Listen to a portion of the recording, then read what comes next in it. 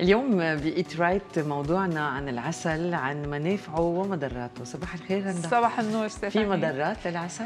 أه رح أحكي اليوم عن العسل بالوقت اللي عنا فيه لنعرف حسب نوعية العسل. مم. ففي عسل ما في مضرات ولكن في عسل سكر. نحن عم ناخده أكيد في مضرات كثيرة. هلا أه أول شيء بدي أقول إني ندمت ليش ما كنت معكم بالرقصة. أه؟ رقصتوا بدوني.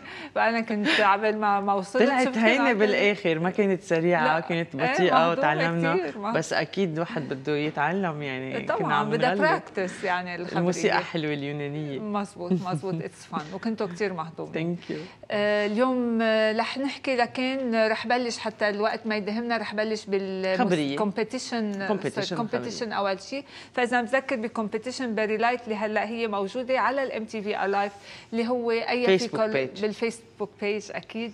آه، أي في كوليسترول أكثر سمكه السالمون أما القريدس طبعا بنفس الوزن. 100 جرام من السالمون أو 100 جرام من القريدس أي فيها كوليسترول أكثر أكيد جاوب أنا واحد. جاوبت.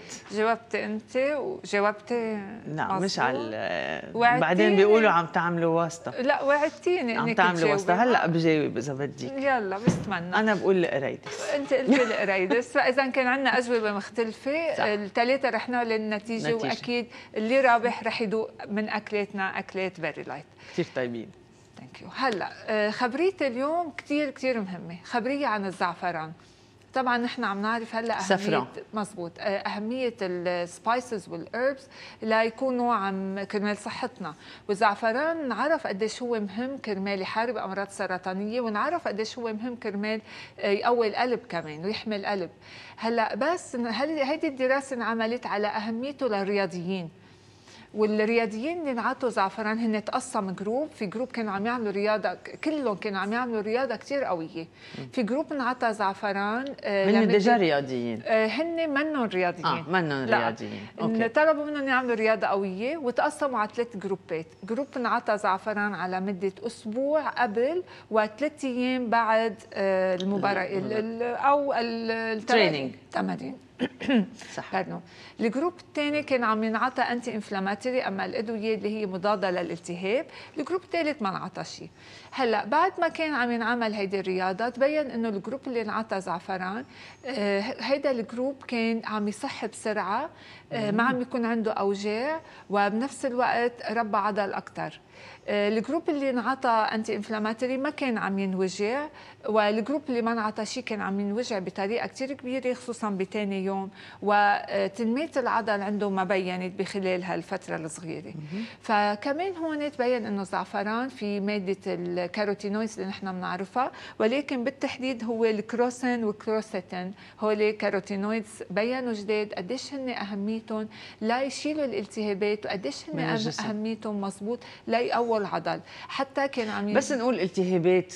شو هن الالتهابات مثلا؟ هلأ بهل بس للمشاهدين يفهموا أكثر هلا بهيدي الكيس اللي نحن عم نحكي عنها إيه بس بالكيس اللي عم نحكي عنها هي الالتهابات اللي إجت من وراء التعب اللي رياضيين عملوه مسكولار يعني. مزبوط بتعب بالعضل تبعهم فريح لهم العضل. حتى أخذوا آه، حجم الفخذ وتبين إنه هلأ إذا الحجم هون كان في ورم تبين إنه عند اللي أخذوا آه، زعفران أو الصفرون ما كان عم عندهم ورم ابدا. ابدا. فاذا هلأ كمان للرياضيين بين قديش هو أهميته. بالحقيقة نحن عم نحكي على تناوله بالأكل ولكن هون الدراسة انعملت إنه عم ينعطى سبلمنتس فهلأ صار أشياء مثل هيدي عم ينعم تنعمل مثل الثوم كمان والزعفران والكركمة وال يعني العقل الصفراء.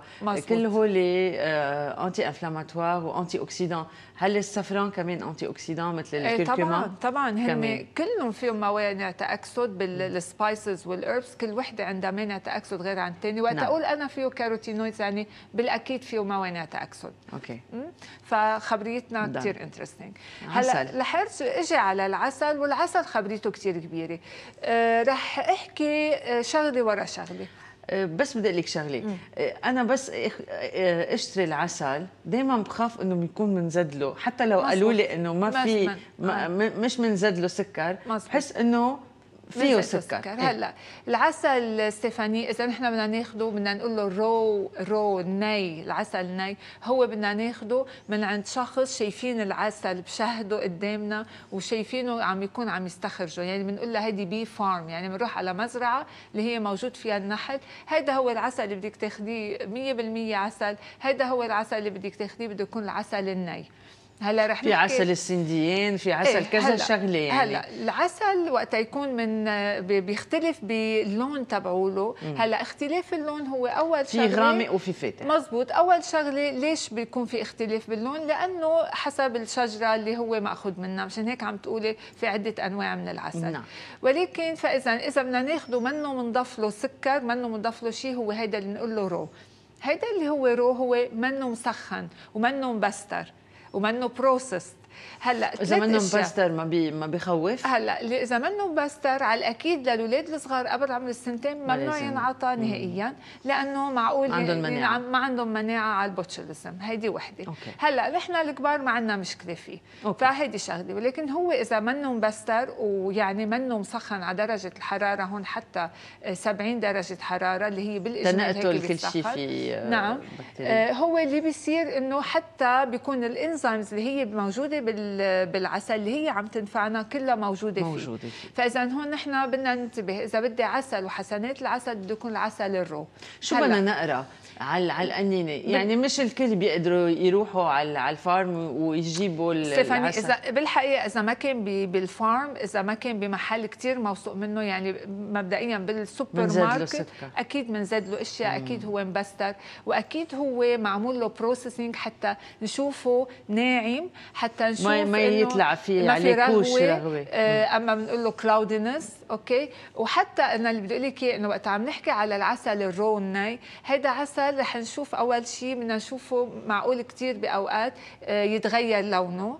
آه، الشغله الثانية بدنا نشوف في residues أما آه، يمكن من جوانح النحله بيبقى مكسورين أوقات وبيبقوا موجودين فيه.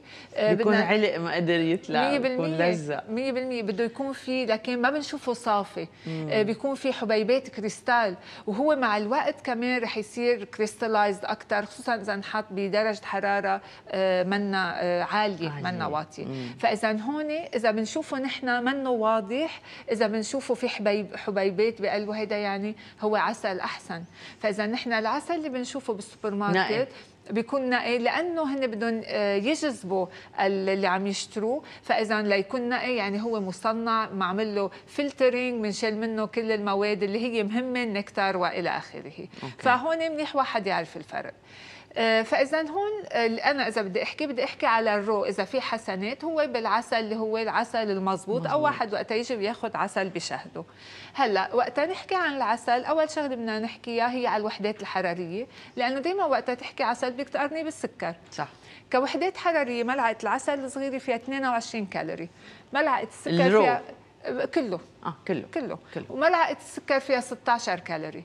فإذا العسل شوي شوية بسيط calories أكتر. أكثر ولكن العسل طعمته هي أحلى. فإذا نحن وقت نستعمل ما بنستعمل كمية كبيرة. بس 6 calories الفرق.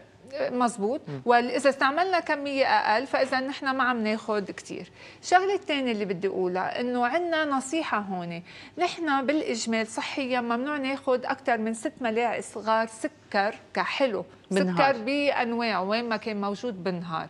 بدنا نعتبر هون العسل ست ملاعق صغيرة. صغيرة.